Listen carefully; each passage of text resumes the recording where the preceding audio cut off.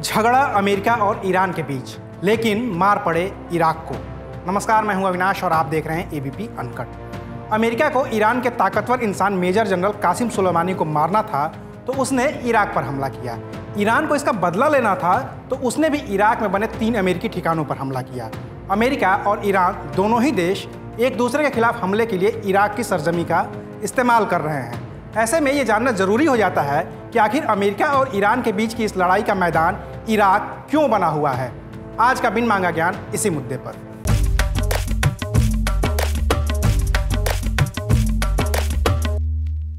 Iran में तेल का भंडार है। दुनिया का करीब 10 फ़ीसदी तेल अकेले ईरान के पास है। अमेरिका जैसा देश हमेशा से ही इस तेल पर अपना कब्जा जमाना चाहता था, क्योंकि बिना तेल के कोई भी देश ताकत हासिल नहीं कर सकता था। ईरान को भी इस बात का बखूबी एहसास था। इसलिए ईरान के प्रधानमंत्री रहे मोहम्मद मुसद्दिक ने साल उन्नीस सौ इक्यावन में ईरान के तेल के कुओं का राष्ट्रीयकरण कर दिया। इसकी वजह से ईरान के कुओं से तेल निकाल रहे अमेरिका और ब्रिटेन जैसे देशों को परेशानी होने लगी। अमेरिका और ब्रिटेन उस वक्त भी दुनिया के सबसे ताकतवर देशों में से एक थे। दूसरा विश्व युद्ध जीतने वाले देशों में से एक थे। तो उन्होंने अपनी ताकत का इस्तेमाल किया। दोनों साथ आए और ईरान में इतनी तबाही मचाई कि चुने हुए ईरानी प्रधानमंत्री मोहम्मद मुसद्दिक का तख्ता पलट हो गया। उन्नीस सौ तिरपन में ईरान की सत्ता आ गई शाह रजा पहलवी के हाथ में। इससे अमेरिका और ब्रिटेन तो खुश थे, लेकिन एक ईरानी आदमी था जो इससे नाराज़ था। नाम था अयातुल्लाह खमेनेई, लेकिन वो ईरान में नहीं था। शाह ने उसे देश से बाहर कर दिया था। वो कभी तुर्की, कभी इराक और कभी पेरिस में शरण लिए हुए पड़ा था। 18 साल तक ऐसा ही चलता रहा। अमेरिका और ब्रिटेन के सरपरस्ती में शाह रजा पहलवी ईरान के सर्वे सर्वा बने रहे। उन्नीस सौ इकहत्तर में शाह रजा पहलवी ने ईरान के ऐतिहासिक शहर परसे पोलिस में एक पार्टी दी। इस पार्टी में यूगोस्लाविया के राष्ट्रपति टीटो, मोनाको का प्रिंस रेनियर और प्रिंसेस ग्रेस, अमेरिका के उपराष्ट्रपति सिप्रो अग्नेयू और सोवियत संघ के स्टेट्समैन निकोलोई पोर्गनी शामिल हुए थे। और तब 18 साल से चुप बैठे अयातुल्लाह खमेनेई ने इस पार्टी के खिलाफ मोर्चा खोल दिया। इसे सैतानों की पार्टी करार दिया और सीधे तौर पर शाह राजा पहलवी के खिलाफ मोर्चेबंदी की शुरुआत कर दी। पहले से ही शाह राजा पहलवी से नाराज़ ईरानियों को नया नेता मिल गया था, जो विदेश में बैठकर उनका नेतृत्व करने लगा। नतीजा ये हुआ कि ईरान में शाह रजा पहलवी के खिलाफ धरना प्रदर्शन शुरू हो गया। अमेरिका और ब्रिटेन के खिलाफ ईरानी लोगों की नाराज़गी खुलकर सामने आ गई। महीनों तक ईरान में आम लोगों ने आंदोलन किए। इसका नतीजा ये हुआ कि 16 जनवरी उन्नीस को ईरान के मुखिया शाह रजा पहलवी को देश छोड़कर भागना पड़ गया। एक फरवरी उन्नीस को अयातुल्लाह खमेनई ईरान के सर्वोच्च धार्मिक नेता के तौर पर देश वापस लौटे, जिनके स्वागत के लिए तेहरान की सड़कों पर 50 लाख से भी ज़्यादा लोग इकट्ठा हो गए। अयातुल्लाह खमेनई ने लौटने के बाद ईरान में जनमत संग्रह कराया और फिर ईरान को एक इस्लामिक राष्ट्र घोषित कर दिया। इस क्रांति की वजह से अमेरिका और ब्रिटेन का ईरान में रहना और तेल के कुओं से तेल निकालना मुश्किल हो गया। इस दौरान शाह को कैंसर हो गया था, जिसके इलाज के लिए वो अक्टूबर उन्नीस में अमेरिका के न्यूयॉर्क चले आए थे। और जब ईरान के लोगों को इसका पता चला तो नवंबर महीने में एक दिन वो तेहरान के अमेरिकी दूतावास में घुस आए और बावन अमेरिकियों को बंधक बना लिया।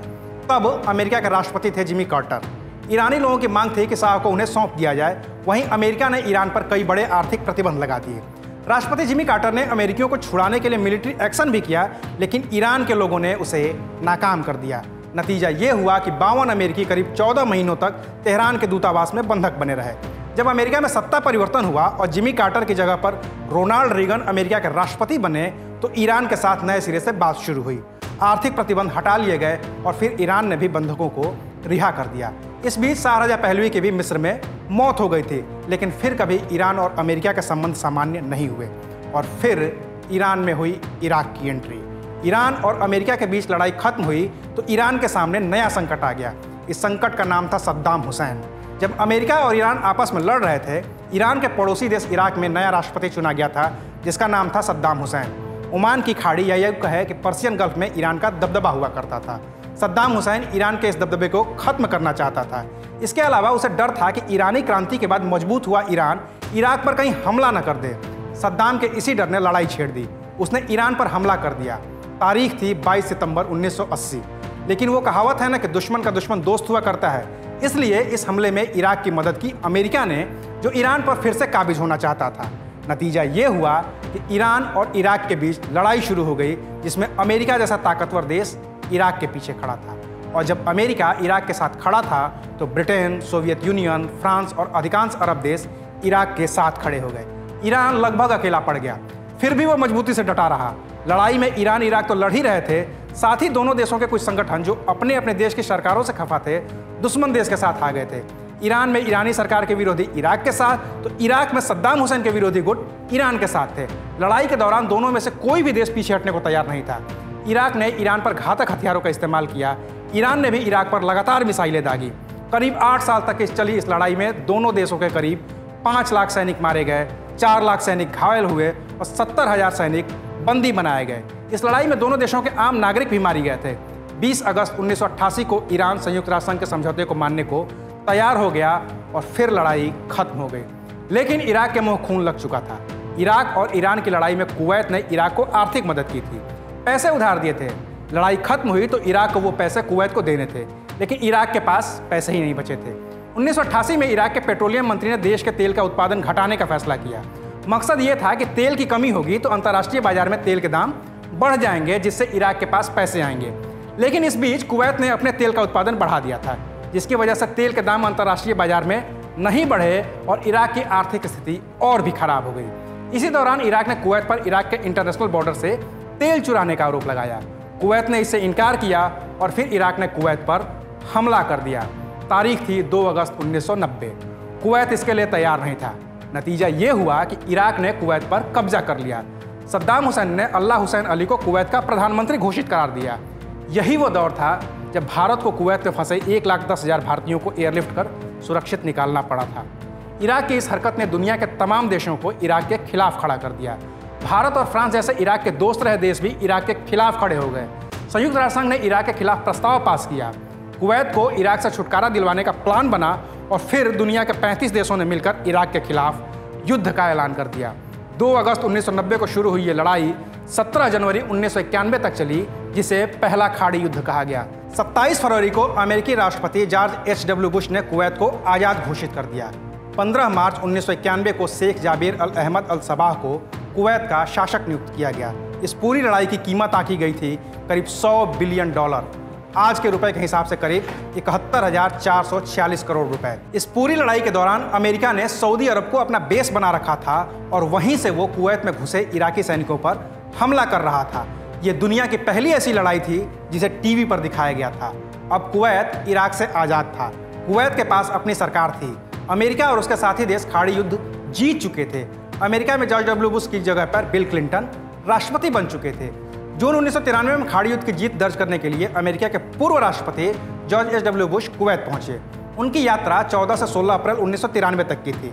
इस बीच कुवैत की सेना ने 13 अप्रैल को कुछ लोगों को आरडीएक्स के साथ गिरफ़्तार कर लिया।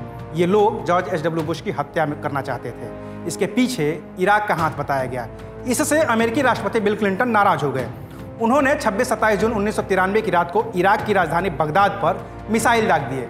मकसद था इराक को चेतावनी देना कि आगे वो ऐसा ना करें। फिर तीन साल तक शांति बनी रही।